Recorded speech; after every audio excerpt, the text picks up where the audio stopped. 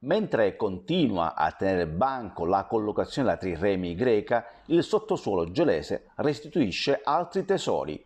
Con il ritrovamento di altre quattro tombe salgono a sei le sepolture di una necropoli arcaica dei bambini scoperte nei giorni scorsi in via di Bartolo, nel quartiere Borgo, durante le operazioni di scavo eseguite dalla ditta Open Fiber, che sta realizzando in città una rete di telecomunicazioni a banda larga.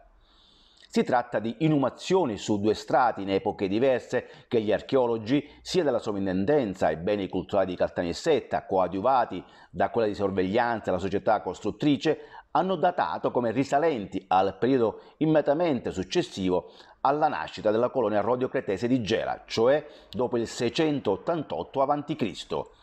Le tombe dei bimbi utilizzavano un sistema di sepoltura che consisteva nel deporre il corpo del bambino all'interno del vaso di terracotta in posizione rannicchiata.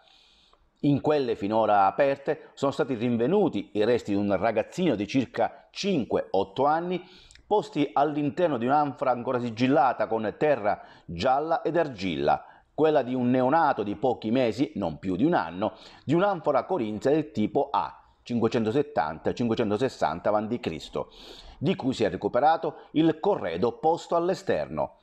Ancora da aprire la numero 5 e la numero 6. La necropoli del borgo afferisce alle fasi più antiche della colonia e si estende fin oltre il limite dell'attuale via San Mito, ex via Cuba. Da qui, verso ovest, si sviluppano le necropoli di età successiva, cioè classica ed ellenistica, di Capo Soprano.